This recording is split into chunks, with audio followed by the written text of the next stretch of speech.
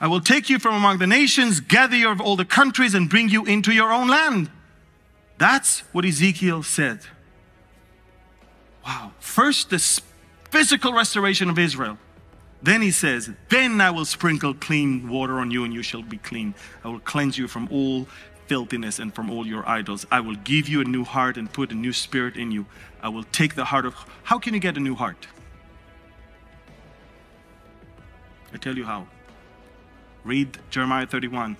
The Lord said in verse 30 and 31, He said I will give you a new testament, new covenant.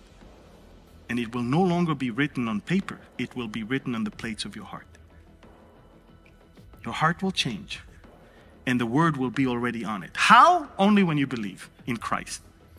The New Testament, new covenant I'll take that heart of stone out of your flesh, give a heart of flesh. I will put my spirit within you and cause you to walk in my statutes, and you will keep my judgment and do them. Then you shall dwell in the land that I gave to your fathers. You shall also be my people, and I will be your God.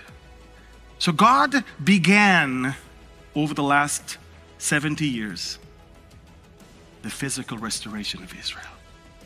He started, and it's called aliyah in Hebrew, to ascend to go up to the house of the Lord, I guess. Aliyah is going up.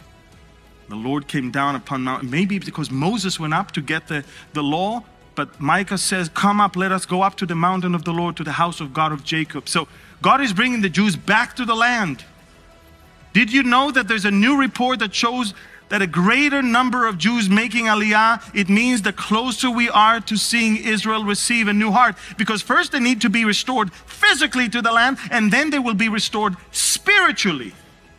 He's bringing the Jews, the Jewish people back from the ends of the earth, not just from one place, not just from Babylon, this time from the four corners of the world.